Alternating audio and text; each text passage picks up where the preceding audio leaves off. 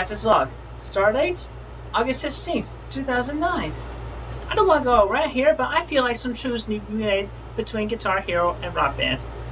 Hmm, firstly, important note about, yeah, Rock Band, 1 and 2, though. Yeah, the track packs, you know, that, that you know, y'all release, y'all are Harmonix release now and then. You know, it's fine to some as discs in the game stores and toy stores and whatever. But yeah, you know what? You're losing money by packaging, by printing the codes on the back of the manuals, as you do. Mean, if you're gonna do that, then if you're gonna do that, to make sure that the store owners take out all the manuals in those things. Otherwise, somebody could just walk right on in to the game to the GameStop, pull out the manual, and just handwrite the handwrite the code on the back and download the tracks for free. You be you're you're you're that's a basic fail right there to borrow a term from the trolls. You know, you just just a basic fail. You mean you're walking right into it. I mean, especially that's another thing. You know, people could just walk. Not only that, but people could just walk right in, buy the track pack, and then uh, redeem the code, and then go return the game and get their money back. That's just a bad. That's just a bad deal right there. So what I would suggest is, in addition to releasing the uh, track packs on disc, do not add a code to redeem for downloading them.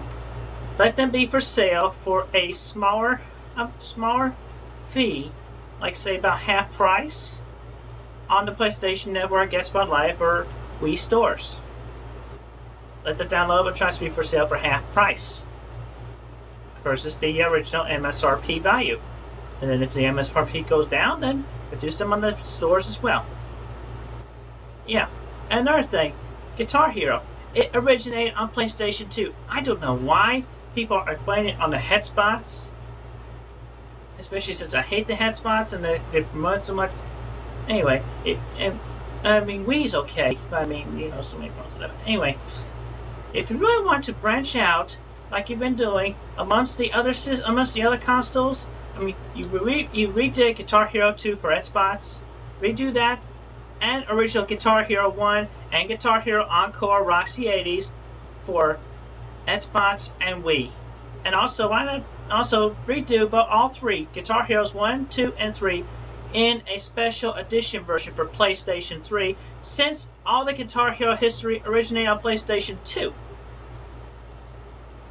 And, and also, uh, you know, one last thing, yeah, Rock Revolution. I mean, I know it went downhill fairly quick, as you know. Yeah, Konami, did okay, but you know what? Just a drum kit? You should have made your own guitar to go with it.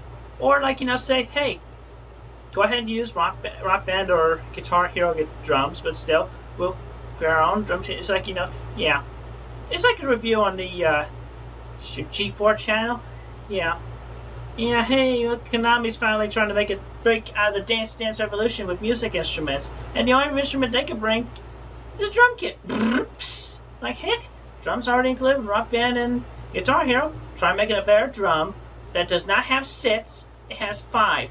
One, two, three, or four drum pads, and one, two cymbals. So that it can be compatible with both Rock Band, uh, more, more easily compatible and more capable of understanding for playing durability between Guitar Hero and Rock Band. You should do that if you're going to make a sequel for Rock Revolution. Like, you know, Rock Revolution 2. Remake the drum kit, do guitars, make a microphone. If you want to add a Dance Dance touch to it, go ahead. Some people like to actually play. I don't know how they can do it at the same time, but like, you know, play guitar and dance on a dance pad. Like there was like an episode of Simpsons. That was a that was a fun bit. For comic guy business, though. Anyway, so anyway, uh, the music business, yeah, just uh, re recap. Yeah, go ahead and give the uh, promotional code you've included all your uh, Rock Band track packs an expiry date of December 31st, 2009. And uh, then start offering all the track packs for half price on the PlayStation Store, Xbox Live Market, and Wii Store. And, uh, yeah, redo Guitar Heroes 1, 2, and 3 for PlayStation 3 and Wii. And redo Guitar Hero, I'm sorry, Guitar Heroes 1, 2, and Encore for PlayStation 3 and Wii. And redo Guitar Heroes 1 and Encore for Xbox 360. If you really want to branch out, you gotta go all the history between the multiple consoles. I mean, originated from the PlayStation. Everybody knows that. So there. And uh, yeah, Konami, give it a go. But yeah, learn from the mistakes. Take advice from the G4 review. No wonder you got low grading, especially since I played myself. You know, yeah, the horizontal thing. Hmm, yeah, kind of sucky compared to what we have in Rock Band, where it's like everything's coming at you. Think about Konami. You can do better on Rock Revolution 2 or upgrade Rock Revolution 1 anytime. Okay, that's my spiel on the music business. I'm thinking about maybe doing a downloadable track review on Guitar Hero. But that's just maybe, or a possibility.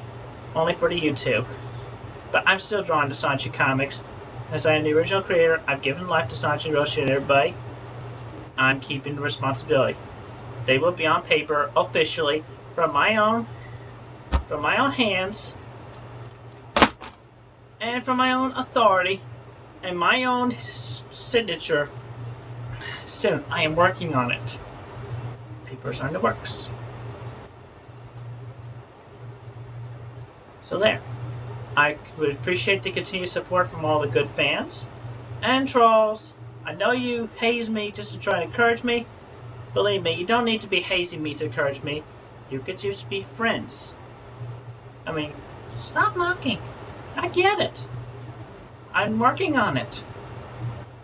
So anyway, with that, stay safe, peace. Autobots, transform and roll out. Oh, and one more thing. The uh, Harmonix people behind Rock Band. You really want people to keep those game discs? Then yeah, take my advice. Don't put the codes in there with the manuals.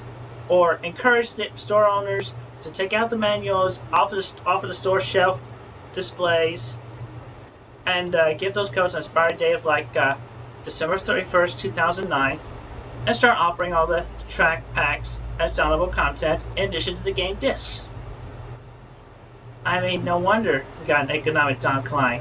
Especially since everybody's like, you know, just get the code, getting it all for free, and returning it. Or just write it down. About it.